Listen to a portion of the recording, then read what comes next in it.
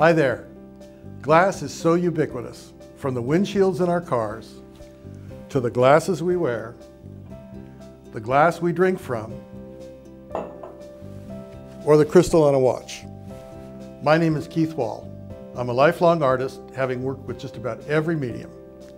Glass has been one of my favorites for the last 30 or so years. Come join me on July 12th as we explore the art of glass. We'll learn about fun facts, geology, anthropology, culture, chemistry, and physical properties as they relate to the creation of glass used in industry, manufacturing, and commerce. I'll talk about my journey using various techniques and showing some of my art pieces. This piece has about five techniques in creating it. There's going to be a drawing for some gifts I made for the class participants. So I'd like to see you Thursday from 10 to noon, July 12th. See you soon.